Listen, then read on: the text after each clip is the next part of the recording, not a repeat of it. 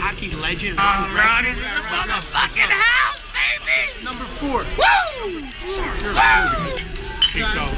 You ever know a guy with a mustache like that? yeah, yeah. Yeah. Lanny McDonald, but when he fights somebody, This is a good thing to pull. small little how you doing over here? You cheap fuck. These ten seats are terrible. They suck. This is fucking terrible. Oh, it's not easy being me, but whatever. Brian, want some macaroni? Macaroni. I, ne- I hate to eat on an empty stomach. Mamma mia.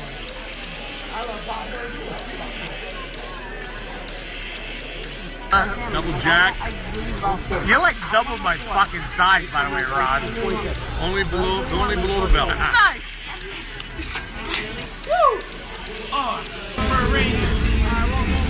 It's fucking time. Ball spot. Now I have a frozen spot.